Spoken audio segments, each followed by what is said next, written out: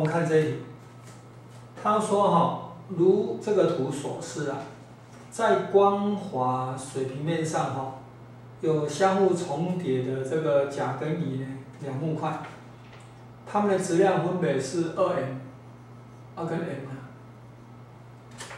起初哈，甲木块静止在水平面上，而乙木块在甲木上，甲木块上面哈。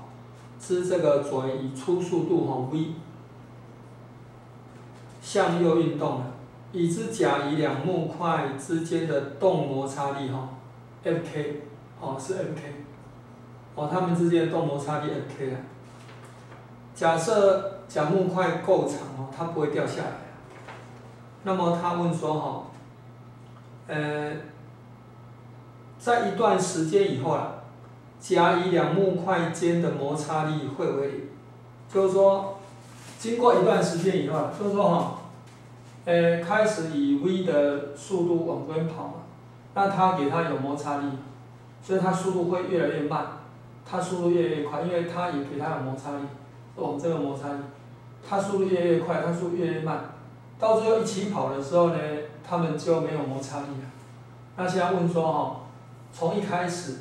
到一起跑的那个时间哈，是花了多少？好，啊，这怎么做哈？这个首先我们把他们那个最后的速度把它算出来。哦，最后一起跑的速度就是直心速度了。直心速度是等于 m 一加 m 二，二 m 加上呢 m 二是 m，二分之 m 一 v v 它的速度是零，它的速度 v 啊，所以是 m 呢 v。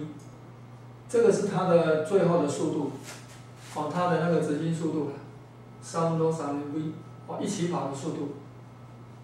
好，那从一开始哈，到一起跑的速度的话哈，我现在把哎，问他花了多少时间啊？我现在把那个对象钉在甲上面，甲的话，它的速度从零哈到什么？到三分之 v 啊。那我们现在来看呢，这个这会花多少时间哈？我就用什么呢？用那个冲量。它给它的那个冲量哈，是等于多少呢？是等于它给它的作用力是多少？定力是 F_k 嘛？啊乘以多少呢？乘以那个作用时间是 t。啊这个的话，这个是等于动量变化，动量变化就等于二 m 啊乘以速度变化，它的末数是三分之 v 嘛？啊速度是零。好，那这样的话，我这个 t 哈就可以算出来。就等于三 m k，二分之二 m_v，所以这个就是答案。